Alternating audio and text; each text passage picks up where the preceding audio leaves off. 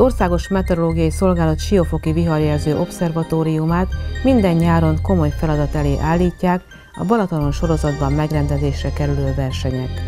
A meteorológiai szolgálat mellett a balatoni vízirendészet és a balatoni vízimentők is kiveszik részüket a szervezett versenyek mind jobb és biztonságosabb lebonyolítása érdekében. Kollégáink hatalmas tapasztalattal rendelkeznek a tó időjárását illetően, szakmai felkészültségük, felelősségteljes munkájuk nélkül ezeket a versenyeket nem lehetne elindítani. Csupán a nagy versenyeket tekintve részletezzük, hogy milyen szervező munka és háttér szükséges ahhoz, hogy a versenyzők épségben és egészségben végig tudják ezeket a távokat csinálni. De nézzük először az egyik legismertebb és már évtizedek óta megrendezésre kerülő versenyt, a Kék Szalagot, mely a Balaton és a vitorlázás legnagyobb ünnepe, a Magyar Vitorlás Szövetség legjelentősebb eseménye. A versenyzők két napon keresztül küzdenek az elemekkel, próbára teszi a Balaton a vitorlázni tudásukat, a kitartásukat és az akaraterejüket. Az időjárás szeszélyes, különösen legnagyobb tavunkon érezhető ez, ahol sokszor nem a viharos erejű széllel kell szembeszállni, hanem a szélcsendes időben órákat várakozni az idő jobbra fordulására. Hosszú évek során kiderült, hogy ez utóbbi esetben sokkal többen szállnak ki a versenyből, és hagyják el a pályát, mint amikor tomboló viharos szélben hasítják a vitorlások a vizet. Miért éppen kék? Történeti okai vannak, hiszen a tengerek leggyorsabb vitorlással viselhette árbócán a kék szalagot, mely tradíciót később a gőzösök is átvették.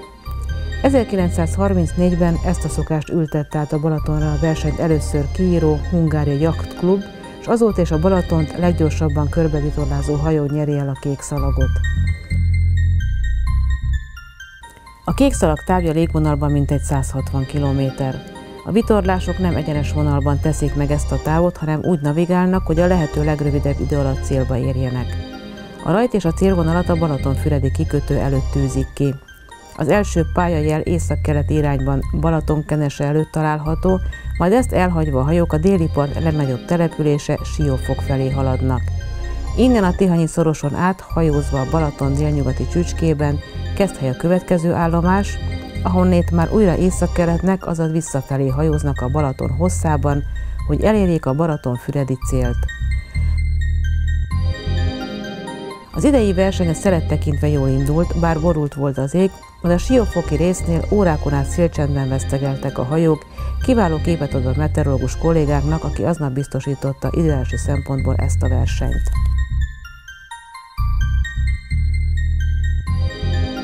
Néhány rekord a versenyek sorából. Például a leglassúbb győztes díjat is kiosztották 1953-ban. Olyan gyenge volt a szél, hogy a győztes Nemere 275-ös cirkáló 40 óra alatt ért célba. De nézzük a gyorsasági rekordokat. Ugyanez a hajó egy legendás rekordot állított fel, amikor 1955-ben 10 óra 40 perc alatt kerülte körbe a Balatont. Ezt az időt csak sok év múlva döntötték meg 2012-ben. A 50-50 2014-ben is újabb rekordot ért el 7 óra 13 perces idővel. A legtöbb indulót eddig 2010-ben regisztrálták, ekkor 593 hajó állt rajthoz. A kékszalag verseny időpontjának kitűzéséről még nem volt szó.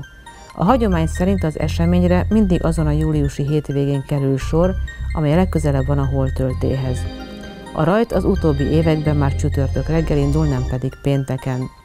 A verseny időkorlátja ma már 48 óra, így aki szombat reggel 9-ig nem ér célba, nem ér el helyezést sem.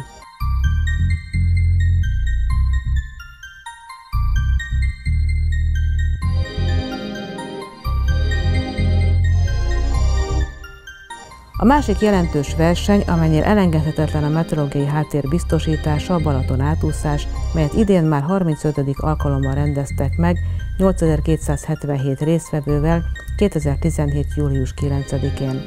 Ez utóbbi időpontot többszöri halasztás után tűzték ki, hiszen sem az erős szél, sem a hideg víz nem kedvez az úszóknak. Idén is egy órával korábbra hozták a rajtidőszak végét, mert várható volt a délután folyamán záporok, zivatarok kialakulása. Az átúszás kiinduló pontja a Révfülöpi kikötő melletti strand, célpontja a Balaton-Moglári Platán strand. A versenyzők rádiófrekvenciás csuklópántot kapnak, az időmérés ennek leolvasásával történik. A rajtidőszak általában 8 órától 14 óráig tart. A verseny során 150-180 vitorláshajó biztosítja az útvonalat, és három egészségügyi hajó, illetve a vízirendészet és a balatoni vízimentők is szolgálatot teljesítenek.